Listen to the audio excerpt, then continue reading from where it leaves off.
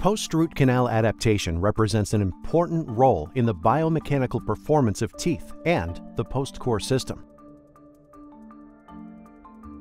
Close canal adaptation with minimal tooth structure removal provides a conservative and long-lasting treatment for the restoration of endodontically treated teeth. In cases where the root configuration could anatomically be an oval form rather than a circular shape, or the resulting preparation of the canal during endodontic treatment may produce an oval form, the accessory post is placed alongside a master post.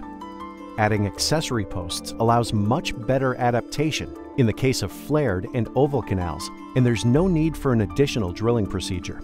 The accessory posts are made from the same material as the UniCore master posts, you can count on exceptional strength, the transmission of light, and excellent radiopacity.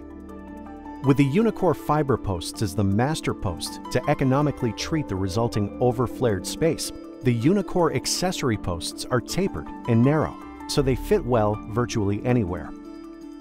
The Unicore accessory post is offered in a 2.3% taper, with the top of the accessory post measuring 0.8 millimeters with a 0.4 millimeter tip. The length is 16.35 millimeters.